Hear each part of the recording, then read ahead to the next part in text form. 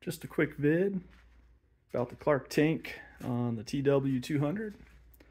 I got a new gas cap because the other one's really cheap plastic and I saw some vids about it cracking in the sun. Living in southern Nevada, we have a lot of sun.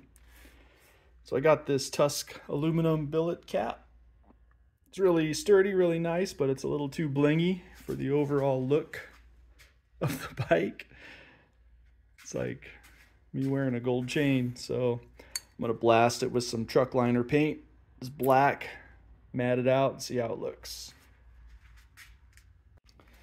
All right, got the first coat on. I just taped off the vent. Already looks so much better.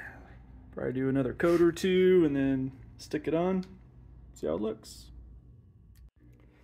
Got it all painted up. Let me get this to focus. This uh, bed liner paint's great, just sticks. It's about three coats. Still kind of tacky, so I won't put it on until tomorrow. But it's set up, it's kind of cool in the garage. But yeah, that'll look a lot better.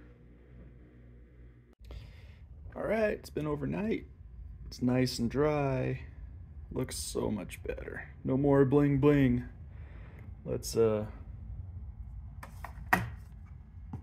see how it looks. First time putting it on. Screws on good. And there it is. The Tusk aluminum gas cap on a Clarke tank that's been de-blinged.